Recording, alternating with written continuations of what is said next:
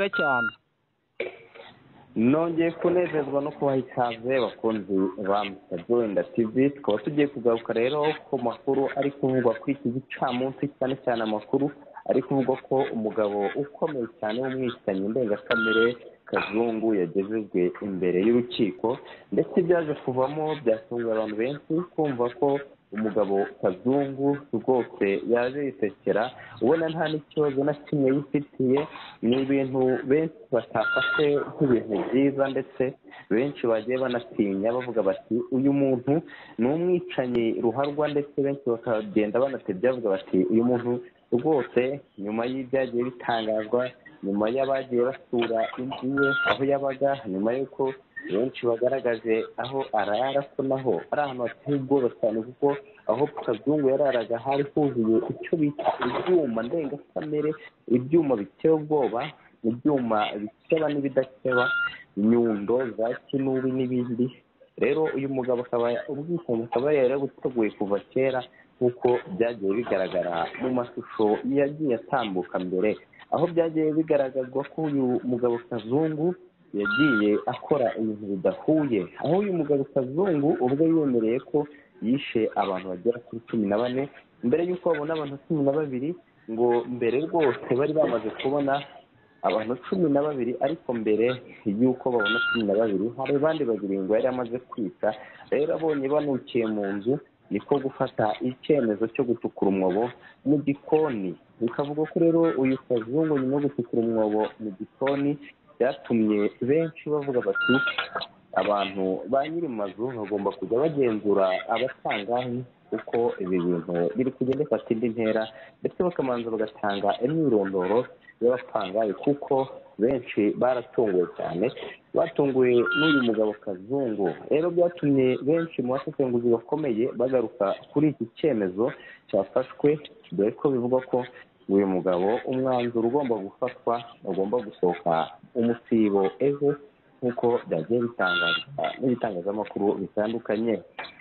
Ibitangazamakuru bitandukanye rero byatangaje ko uyu mugabo kazungu rwose agomba guhabwa igihano ndetse bakaba bamuca umutwe nk'uko benshi bari kugenda babyifuza bavuga bati kazungu afite ubugome burenze ubw'ingurube. Ingurube ni ibyara abana bayo barangiza igasubira inyuma ikabarya. Rero uyu nawe nyuma y'uko abakobwa bamwe na bamwe yagendaga bashikisha amafaranga bakisanga bageze mu rugo iwe byatumye abubahuka ndetse agenda abafata ku ngufu. Ndetse ngo icyatunguranye ni uko ngo uyu kazungu ngo yabashikishije rwose amafaranga atagira. Rero ibi ngibi byatumye bamwe muri bo banatungurwa bakavuga ati uyu mugabo kazungu ni bwoko ki? Ariyo mpamvu bafashe icyemezo cy'uko bagomba guhana by'intangarugero uyu mugabo. Rero mbere yo kumuhana abaturage be barubiye ku rugo rwiwe. Nyuma yo kumuhana mbere yo kumutera ubwoba ngo baramuhana polisi ntiyatindiganyije yaraje iramujyana.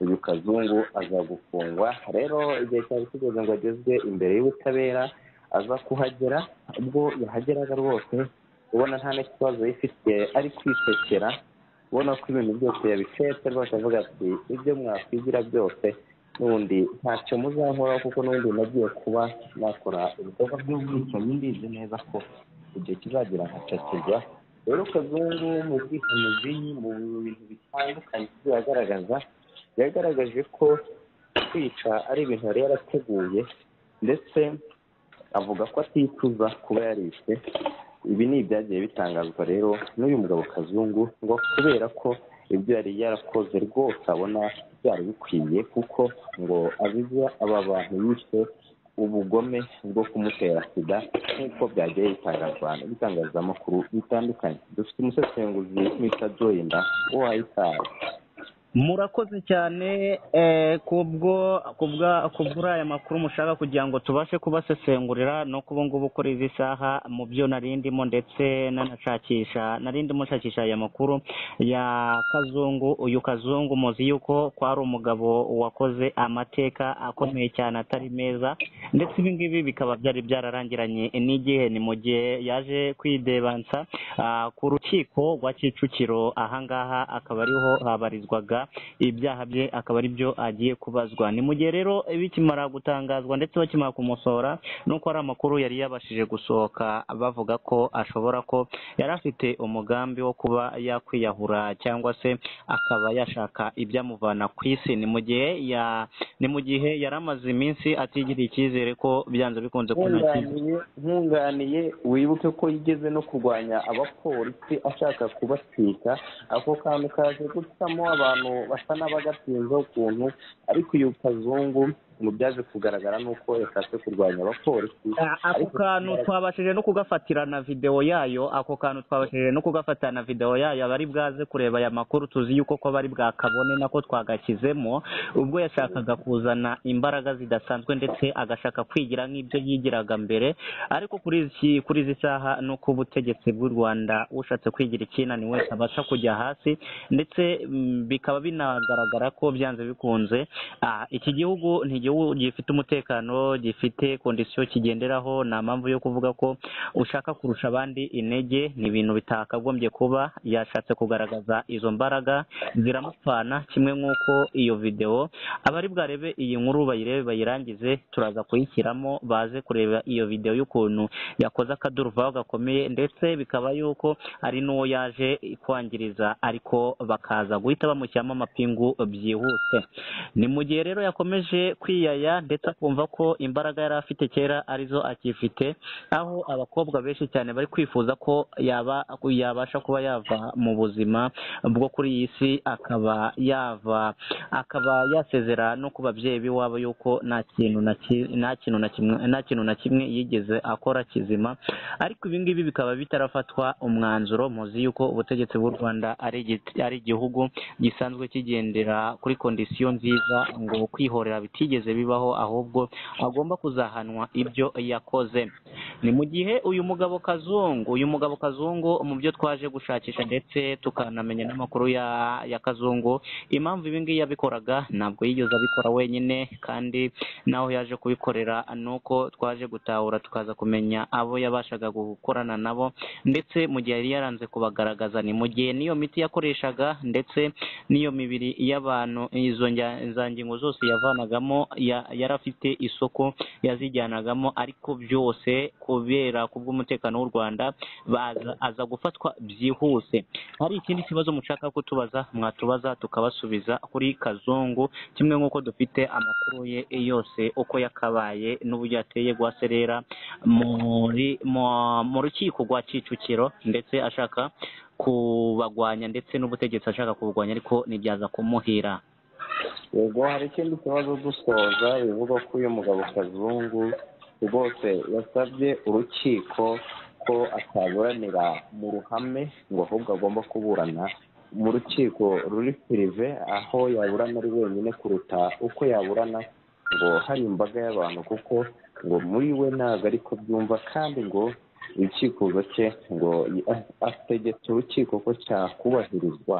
Ibi na byo byaje gutungurana kumva umuntu ategeka abashinjacyaha ibi bintu ntabwo mbikunda byo kumburanya mu bantu ati ndasaba ko mburanira ahantu ha wenyine na byo byaje gutungura abantu bavuga ati se umuntu ategeka abashinjacyaha te koraho bahera basuzugura Eh, ibi ngibi rero ni uko urabizi yuko umuntu wamenyeye gukora icyaha n'ubundi aba asanzwe yakomeza akidebansa ariko ibi ngibi ntabwo ari byo bikiba mu gihugu cy'u rwanda ibyari ibya kera byari ibya kera. Kuri izi saha uba ugomba kugendera ku murongo ntarengwa cyangwa se ukomeye kimwe nk'uko n'abandi uko waba umeze kose cyangwa uko waba uhagaze kose uba ugomba kugendera kuri kondisiyo nk'iz'abandi basanzwe bagenderaho. Ibi ngibi rero yashatse kubivuga ashaka kwihimura muzi yuko ba rusesabagina bahoze bifuza ko bazajya ba- baburanira mu bacamanza ba pirive ariko byose biza kwanga. Icyo twebwe tugenderaho nk'abanyamakuru twebwe icyo tubanza gushaka ni uko tubanza gushaka ese uyu muntu arabazwa ikihe kirego ese iki kirego gifite ubuhe buremere? Ntabwo njye nakwicira umuryango wawe nurangiza uze unetaho cyangwa se uze ushaka kungaragariza yuko ko ukomeye cyane. Ibyo ngibyo ntibikibaho utazigera unabitekereza cyangwa se nimba ari n'umuntu uzi ufite iyo ngengabitekerezo uwo nguwo wamubwira ko ari mu buyobe bukomeye cyane. Nzi ko ari nkanjye bibayeho ko twaserera cyangwa se n'aba mfite n'ubushobozi muzi yuko iki gihugu cy'u rwanda kwihanira bitakiriho ariko ngiye bibaye ngombwa ko unzengereza gutyo hari igihe mfite kwihanira. Ni mu gihe rero ibi ngibi byaje gutangazwa n'uyu kazungu akomeje kugenda akora amateka atari meza ariko kuri izi saha nabwira ko abakunzi ba Mr Joyland icyo basabwa ari ugukora kuri iyo kuri ako kabuto gatukura asiga ubundi agakurikira amakuru yaba ari ayo hanze yaba ari ayo muri iki gihugu ndetse n'andi atandukanye agomba kuzajya ayakurikira yibereye mu rugo ndetse gatanu kuri gatanu hari ikindi kibazo mushaka kutubaza mwatubaza cyangwa se tugasoreza hano ndetse tukababwira ko nimba barebye icyo kiganiro kikabaryohera bagomba kugisharinga bagenzi babo asigaye ubundi tukagenda na tsano kwa tsano yari Mr Joyland Mm-hmm.